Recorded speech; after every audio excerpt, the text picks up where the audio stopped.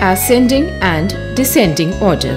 Robbie Mouse is in the backyard. He climbs up the stairs of the rostrum. One, two, three, four, five, six, seven, eight. He is at the top.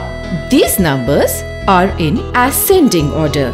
Robbie walks across to step down. He climbs down 8, 7, 6, 5, 4, 3, 2, 1 and he's back on the ground. These numbers are in decreasing or descending order. Nice demo, Robbie.